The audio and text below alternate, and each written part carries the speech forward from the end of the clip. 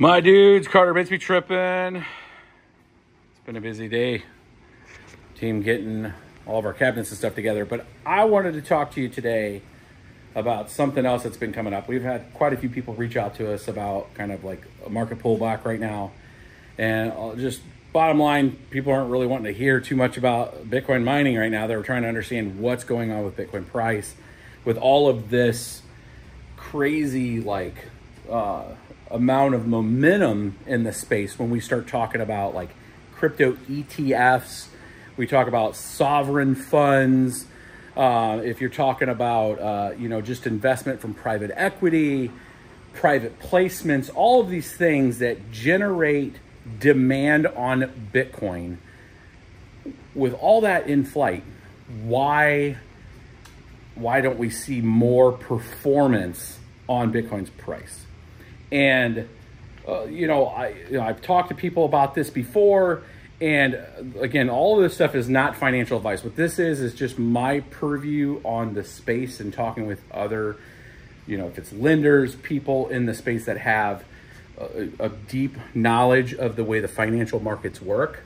And what I want to do is uh, provide you a perspective I don't hear a lot out there from people from. And I don't know why we don't hear more about this, but maybe it's just who I'm watching and seeing in this space. But I want to provide you a perspective of why when you see something like BlackRock for the ETF side buying, or if it's Vanguard or somebody big taking tranches of Bitcoin and then moving it and why the price isn't really moving on that.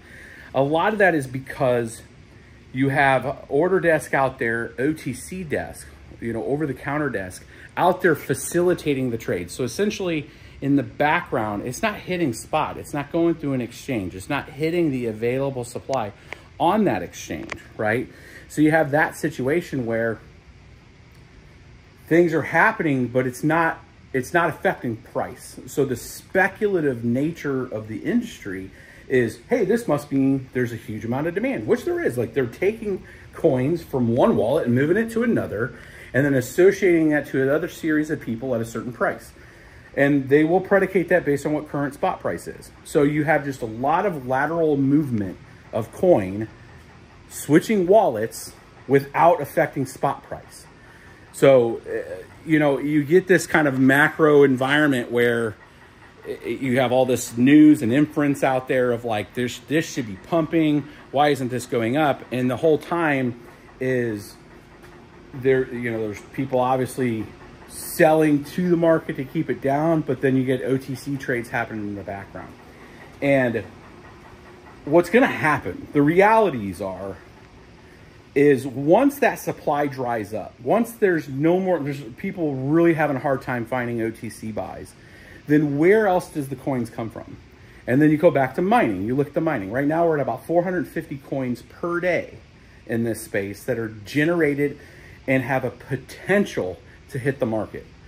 It isn't the 450 coins hit the market, right? There's all kinds of different people around the world that earn Bitcoin for the mining that they do. And that doesn't mean that they're immediately selling it to pay for power or whatever else. If you look at a lot of the publicly traded mining companies, they're out there hodling as much as they can and they're borrowing cash at you know a rate or borrowing from the market, selling off stock to create the the overhead revenue, you know, the overhead cost expense side. And they're not selling their Bitcoin because they're looking at days that it's, you know, they're leveraging it as a, uh, you know, just having some some equity in their hodl that they can borrow against, right? So you end up having a situation where you don't have a ton of coins surging onto the market from at least the miner aspect of it, the miner inflation, 450 coins per day.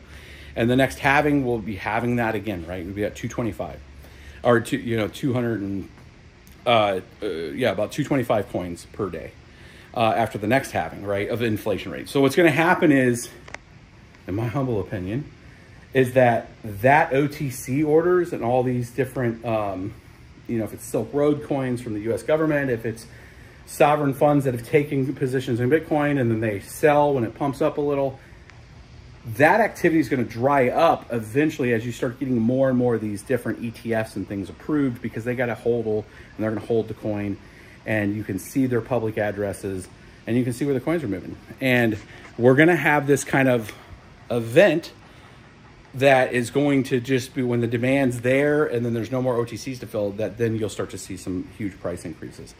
Um, and it's equivalent to that kind of like back market activity versus retail market hitting like, you know, the exchanges, hit buying stuff from Coinbase, buying it from Binance, buying it from Robinhood, all that kind of stuff. That's the retail market kind of influx, right? So I think that private side, once we start to see that kind of dwindle out, then we'll start to see some really good price action. Because at the end of the day, the fundamentals are very simple on Bitcoin. And I think there's a ton of content and a lot better articulation of that content other than me. I'm just a lowly miner that has been around for a long time for you guys.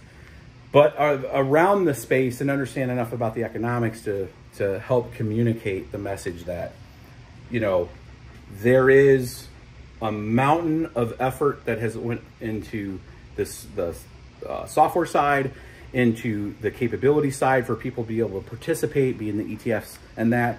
And then once we see that kind of graduation to, or at least in like modern economies, kind of first world economies that have the charters to let banks and let other groups participate to where the, the rank and file that are out there that are just living their life, getting a salary, investing, and they can go to their bank and have, you know, maybe a Bitcoin underneath, you know, like they have their balance and then they have a Bitcoin balance and they can go out there and hit buy like that. And you start having this increased demand at a retail level and the ease of use at a retail level, then you might start seeing some serious uh, adjustments to those prices because there will be a demand that just won't be able to be met from the traditional OTC side of the market. So I've talked to people about this. I explained that kind of thing uh, to folks, and I just wanted to make sure that people were, you know, out there. They're like, hey, this is that's a really good view. Um, that's an understanding of the way things work in the background, and just from being a miner and and getting our small portions each day of the inflation of Bitcoin, you know, that is on that schedule. Like, how much do we sell? How much how much gets actually influenced into that market to move price? So, hopefully, that was a good one for you guys today we'll get back to some some proper like uh, mining content. Um, just been getting the shop ready to go and stuff, but wanted to give you guys something good today when it comes to just something around you know Bitcoin price, it being around fifty six, fifty five thousand dollars today. I thought it would be a good video for you guys. I'll catch you guys in the next one. Peace.